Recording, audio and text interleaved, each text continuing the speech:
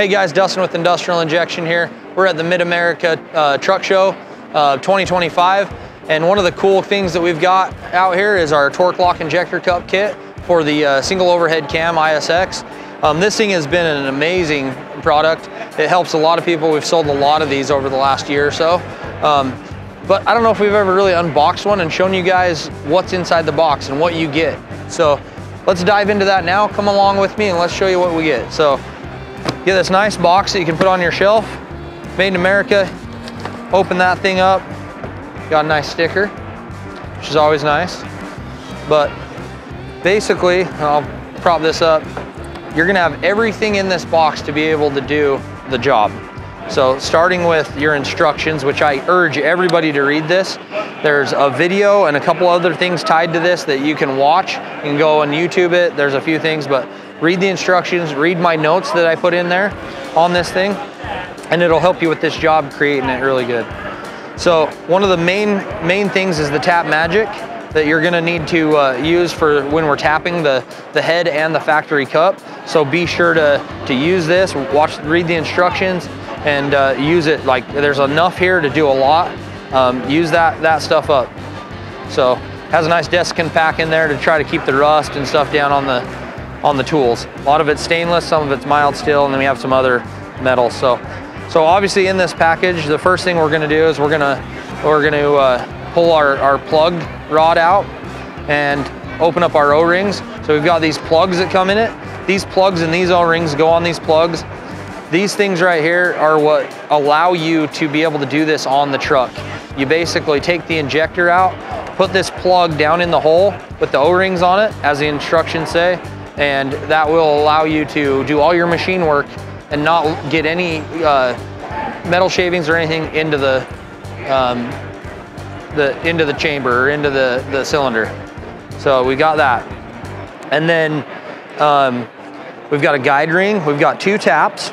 We've got the the extractor or puller, and we've got the the tool that installs the six cups. So we've got our patented six cup design here um, we've, we've added enough stuff in this kit so that you can do the complete job by putting six plugs in, doing all your machine work at one time. So you're not, you're not doing one, switching everything over to another, switching everything over to another. You can go in and use this A tap to get all the cups threaded and so you can pull them out. Then you can go on to the next one and, and use the B tap. These are really nice, uh, made in America, hand-built taps. They last a long time. They're, they'll, they'll do a lot of these cups for you. So we've, uh, we've spent the money on making a nice quality tap for you. Yeah, so it comes with everything you can do to, to do this job, get it done really quickly. I got guys telling me that they're doing it in six to eight hours pretty easily.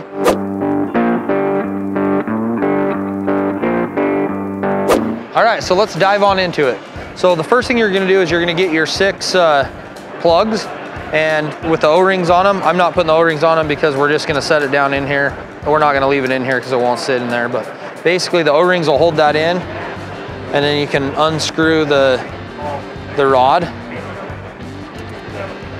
and it's clearance so it sits down in there so you can do all your machine work. It's clearance with the tap. So that stays down in there. Now obviously you're gonna have a, a cup that's installed down in here and we're trying to get this cup out, but it's been stretched and pulled so it's not gonna fit down in there and I don't wanna shove it down in there. But, so you have your cup. So the first thing we're gonna do is we're trying to get this cup out. So we go in with our tap A and they're labeled. So you got tap A and you use the guide ring that comes in the kit. Tap A comes down in and the cup's in there. Tap A is gonna come in and, and basically tap this cup. So we're tap that cup we put that aside. We got to use the guide ring, but we can go ahead and put the tap away. But what you'll, you'll do at this point is you'll go in and take that and tap every cup all along there. Then you put that tap away. Once that's tapped, you blow out the threads, lube everything up. Definitely read the instructions, go through. Lubrication's your friend on this. You're lubing up the shaft on here, you're lubing up this nut. Use a moly lube like a, an ARP lube on this. And then uh, you know, put a, nice oil or something on this as well. So when you thread that in, you bring that down like the, the um, it, it recesses in and sets into here. Thread that in. Basically, don't crimp it down tighten it tight. Just thread it in a, a few threads. Then you, you basically tighten this and it extracts your stock cup out of the hole. So you go ahead and do that on all six. Now you have all the cups out and you can go in here. You got all the cups out.